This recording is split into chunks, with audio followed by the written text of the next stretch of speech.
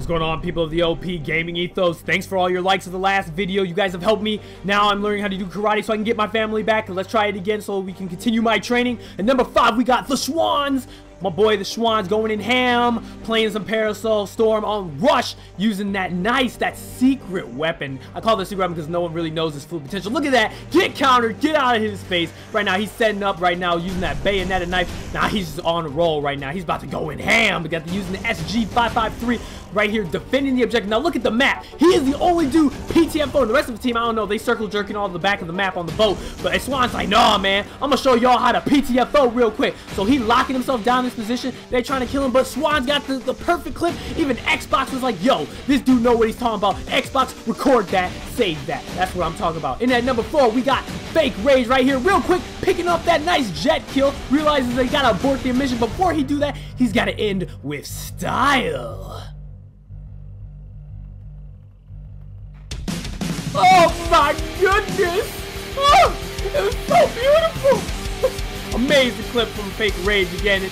And in at number three, you hear that? It's a Birds of Prey. No, it's an LMG coming in from Mr. Ping King playing some, you already know, Operation Clusterfuck. Spraying it and praying it with the M60 going Rambo on him, killing Barack Obama's uh, brother, long lost brother, killing a dude, part of that Pony Pony fan show, and just going in ham. Sosa couldn't even kill him. The Sosa killer could not kill Sosa. What is up? What is going on? He like, hold up, hold up, wait a minute. Y'all thought I was finished?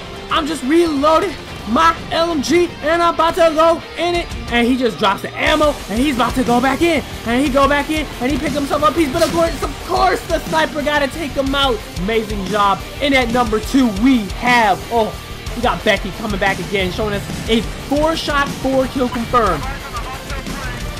Oh that's one. Keep it count keep it count. Every shot it's a hit. Second hit right there Oh my goodness. And then you think like, okay, it can't even get better. Look, even Dice knew was OP. Look at this. Dice knew this person was so OP, they had to done. Like, let's make it a done. That was a hit. Let's slow it down. That Dice messed up. That was a hit, and Dice messed it up. But he gets the final kill using this combination, destroying it with the tank and PTFO, and not only that, but uh, completely obliterating the enemy's air force. And in at number one, oh, you know I gotta play the beast music again. We got Boogly Oogly about to go in ham, about to show him who's the real Nightmare on Elm Street up in this piece. Using the AEK tryhard mode, playing it as if he was playing Battlefield 3, jumping over this dude like, dude, you didn't even see him. What is going on here? I swear this dude must be a nightmare because no one can touch him. He's just spraying it and praying it. No cares. He's behind the scene reloading. Going ham. One, two, three. You know what? Even Dice couldn't keep up with this. Watch this. Look at the kill. Look at the kill feed. Oh! It went by so fast. It, even Dice, even the Battlefield 4 system can't keep up with it. And he's still going in. He ain't even done. He gonna pick up that three piece. Turn up, turn up.